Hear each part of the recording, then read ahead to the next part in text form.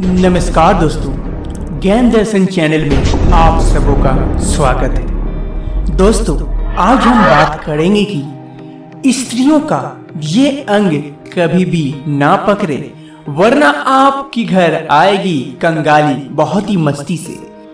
इसीलिए आप इसे इग्नोर ना करें इस वीडियो को। और आप ये गलती कभी ना करें। इस वीडियो को पूरा देखें, आपको समझ में आएगा कि आखिर ऐसा क्यों नहीं करना चाहिए। तो वीडियो पे बने रहें और पूरा वीडियो को वॉच करें, तभी आपको समझ में आएगा आखिर कारण क्या है।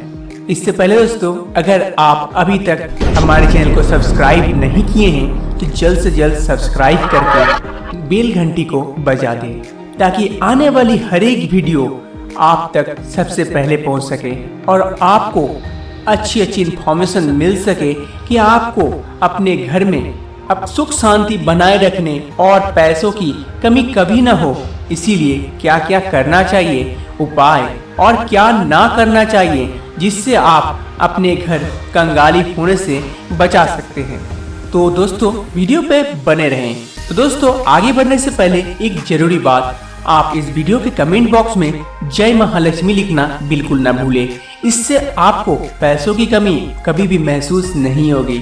तो चलिए दोस्तों, वीडियो को आगे बढ़ाते हुए हम जानते हैं कि लड़कियों का, यानी कि स्त्रियों का ऐसा कौन सा अंग है जिसे पकड़ने से आप बन सकते हैं भिकारी राजा की सोच रखने वाले भी बन सकते हैं भिकारी अगर राजा भी ये काम करते हैं तो उसे भी भिकारी बनने में ज़्यादा समय नहीं लगेगा।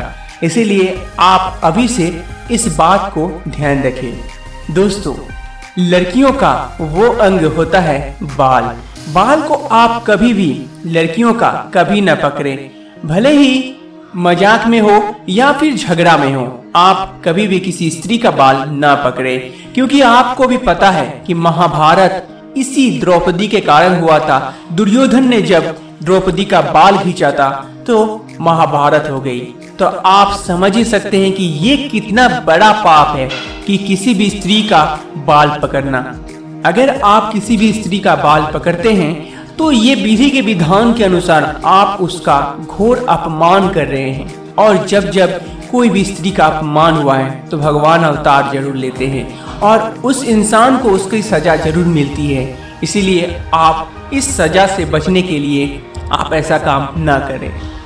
आपके घर अगर मियाँ बीवी का झगड़ा होता है तो आप इस चीज़ को इग्नोर करें, क्योंकि झगड़ा दो दिन में मिट जाएगी, लेकिन कंगाली छा गई तो कभी भी ना मिटेगी। आपका घर बर्बाद हो सकता है। आपका हंसता खेलता परिवार बर्बाद हो सकता है। इसीलिए इस चीज़ को इग्नोर करें और लड़कियाँ, यानी कि स्त्रियों का बाल को कभी भी पकड़ कर खींचने की कोशिश ना करें। आज की इन्फॉर्मेशन इतनी ही थी दोस्तों, इसे फॉलो करें और अपने घर खुशियाँ लाएँ। तो मिलते हैं दोस्तों फिर से एक नई वीडियो के साथ, तब तक के लिए नमस्कार।